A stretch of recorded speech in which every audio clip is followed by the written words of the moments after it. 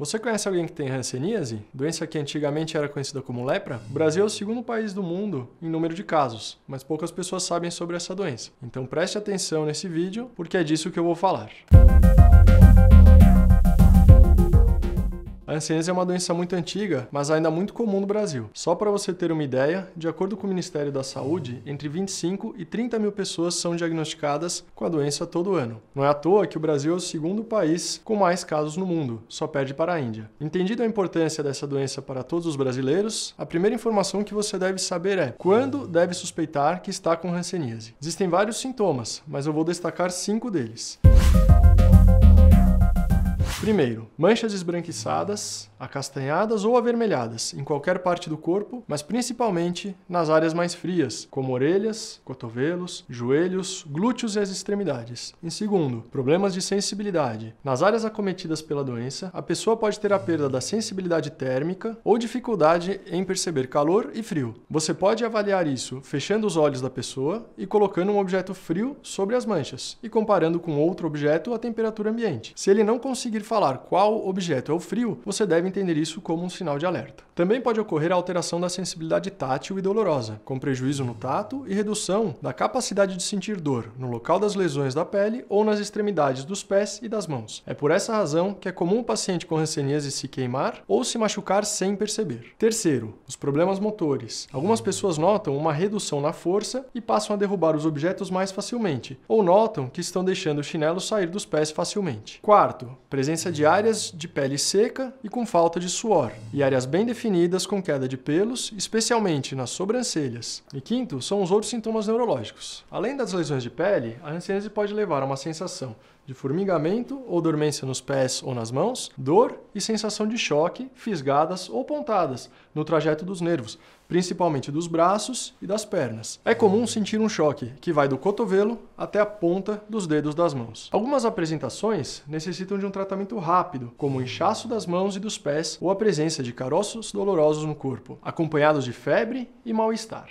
Se você tiver qualquer um desses sintomas, você deve procurar um médico o quanto antes. O diagnóstico da hanseníase, na maioria das vezes, é clínico, ou seja, apenas com a história e um bom exame físico. Em alguns casos, são necessários exames adicionais. Além dos sintomas, tem mais três aspectos que considero muito importantes e que eu quero destacar.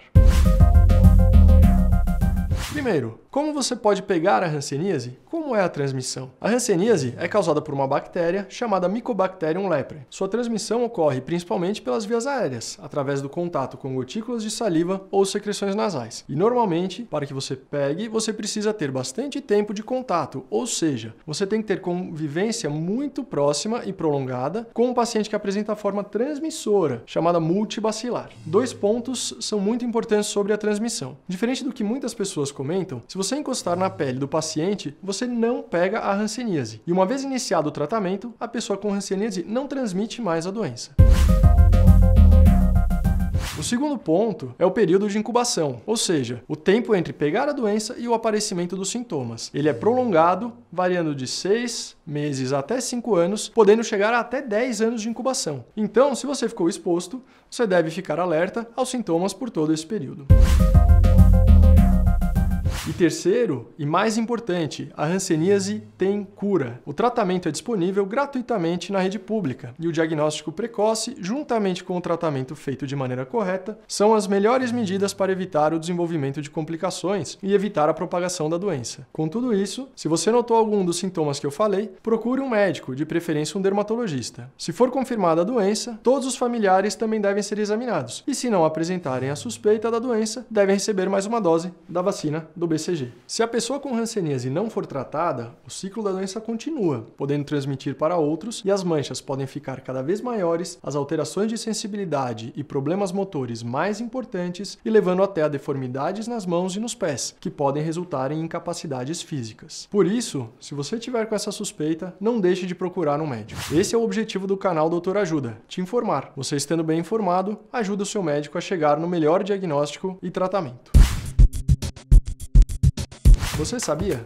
Existe hanseníase em todo o Brasil, mas nas regiões Nordeste, Norte e Centro-Oeste, essa doença é ainda mais presente. Todos os brasileiros têm que ficar atento à doença. Quem já morou ou mora nessas regiões, a atenção deve ser redobrada. Você está gostando do canal Doutor Ajuda? Então se inscreva no canal. Para se inscrever, você tem que entrar na página do canal Doutor Ajuda no YouTube e clicar em se inscrever. Tá vendo esse sininho aí que fica aí do lado? Clique nesse sininho que automaticamente você vai receber os vídeos toda semana. Se você gostou desse vídeo que acabou de assistir, deixe seus comentários, curta e compartilhe com seus amigos e familiares.